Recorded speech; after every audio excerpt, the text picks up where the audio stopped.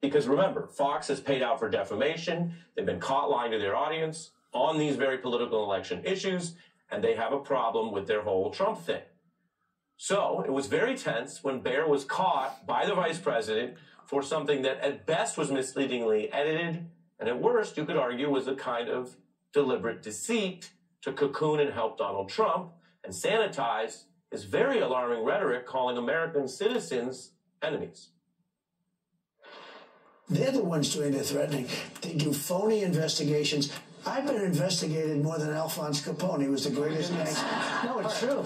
No, but think of it. It's called weaponization of government. It's a terrible thing. So, Bret, I, I'm sorry, and with all due respect, that clip was not what he has been saying about the enemy within that he has repeated when he's speaking about the American people. That's not what you just showed. well, he was asked No, that no, no, that's not what you just showed. In all No, no, no, fairness and respect telling to you you, that was the President of the United States in the United States of America should be willing to be able to handle criticism without saying he'd lock people up for doing it. You see that it was kind of one on two there because she's running against the former president, Donald Trump, and trying to debate those issues, but also having to deal with the Bret Baier editing apparatus.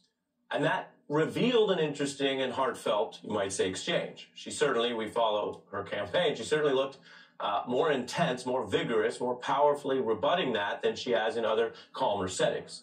I want to show you another moment where you have the interruption as they tried to discuss the facts on immigration.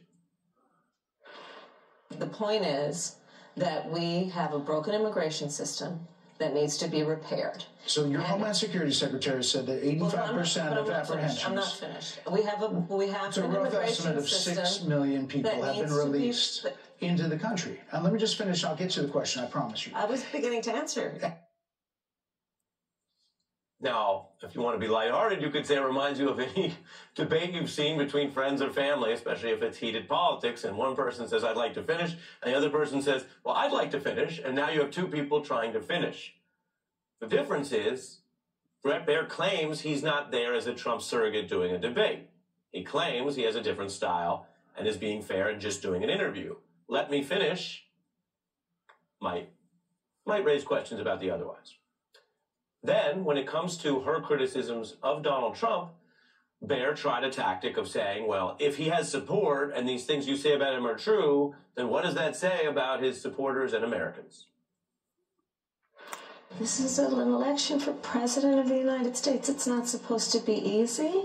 I know, but It's not it's supposed to be. It, it, it is not supposed to be a So cakewalk are they misguided, the 50%? Are they stupid? What, oh what is God, it? I would never say that about the American people. And in fact, if you listen to Donald Trump, if you watch any of his rallies, he's the one who tends to demean and belittle and diminish the American people. He